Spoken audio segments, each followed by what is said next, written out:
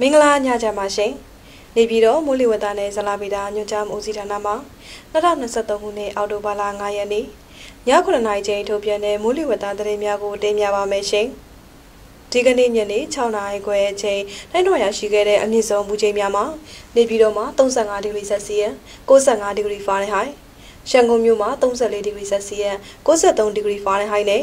မန္တလေးမြို့မှာ38ဒီဂရီဆက်စီယံ69ဒီဂရီဖာရင်ဟိုက်တို့ဖြစ်ကြပါတယ်။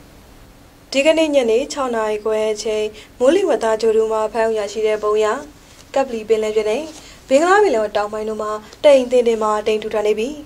ကြံမင်္ဂလာပင်လယ်မှာတိမ်နေငယ်မှာတိမ်တင်တင်ဖြစ်ထွန်းနေပါတယ်မြန်မာနိုင်ငံပုံမှာကတော့မြန်မာနိုင်ငံတောင်ပိုင်းဒေသတွေမှာတိမ်ထူထန်နေပြီးကြံဒေသတွေမှာတိမ်တင်တင်မှာတိမ်ထူထန်နေရကိုတွေ့ရပါတယ်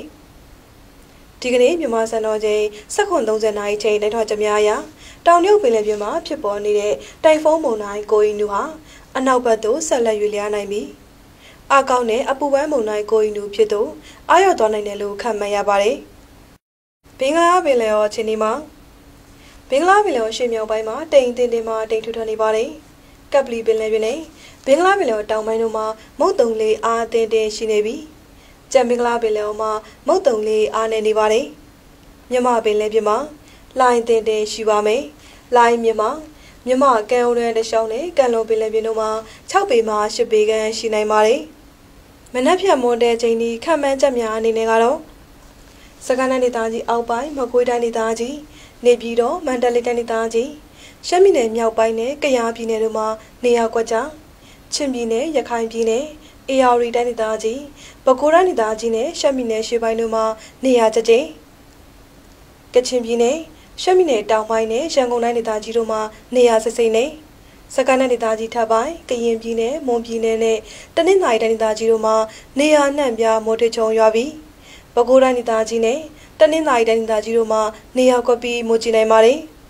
နေပြည်တော်နဲ့နေတဝိုက်တွဲမနှက်ဖြန်မွန်တဲ့ချိန်ဤမိုးလေဝသချိန်ဤခန့်မှန်းချက်မှာ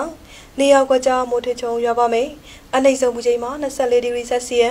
85ဒီဂရီဖာရင်ဟိုက်ရှိနိုင်ပါတယ်ရန်ကုန်မြို့နယ်နီတဝိုင်းအတွက်လက်ဖြတ်မွန်တဲချိန်ဒီမိုးလေဝသချိန်ဒီခန့်မှန်းချက်မလေးနေရာကွက်ကြားမိုးထချုံရွာပါမယ်အနှိမ့်ဆုံးမူချိန်မှာ25ဒီဂရီဆက်စီယံ89ဒီဂရီဖာရင်ဟိုက်ရှိနိုင်ပါတယ်မန္တလေးမြို့နယ်အနီးတဝိုက်အတွက်လက်ဖြတ်မွန်တဲချိန်ဒီမိုးလေဝသချိန်ဒီခန့်မှန်းချက်မလေးနေရာကွက်ကြားမိုးထချုံရွာပါမယ် အနှိမ့်ဆုံးမူချိန်မှာ29ဒီဂရီဆက်စီယံ81ဒီဂရီဖာရင်ဟိုက်ရှိနိုင်ပါတယ်နောက်နေ့ရက်အတွက်ခန့်မှန်းချက်အနေနဲ့ကတော့ကရင်ပြည်နယ်မွန်ပြည်နယ်နဲ့တနင်္သာရီတိုင်းဒေသကြီးတို့မှာမိုးပိုလာနိုင်ပါတယ်။အခုတင်ပြခဲ့တာကတော့ဒီကနေ့ည9နာရီချိန်ထုတ်ပြန်တဲ့မိုးလေဝသသတင်းများပဲဖြစ်ပါတယ်။ကိုစိတ်နှပြကြမှာချမ်းသာကြပါစေရှင်။